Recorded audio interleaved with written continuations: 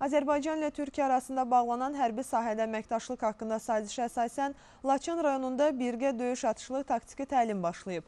Təlimdə əsas məqsəd döyüş əməliyyatlarının aparılması zamanı qarşılıqlı fəaliyyətin və döyüş uzlaşmasının təkmilləşdirilməsinə, o cümlədən komandirlərin hərbi qərar qəbul etmə və bölmələri idarə etmə bacarıqlarının inkişaf etdirilməsinə yönəldilib. Təlimdə müasir döyüş texnikası və digər hərbi vasitələrin çətin relyef şəraitində istifadə etmə vərdişlərinin artırılmasına xüsusi diqqət yetirilib.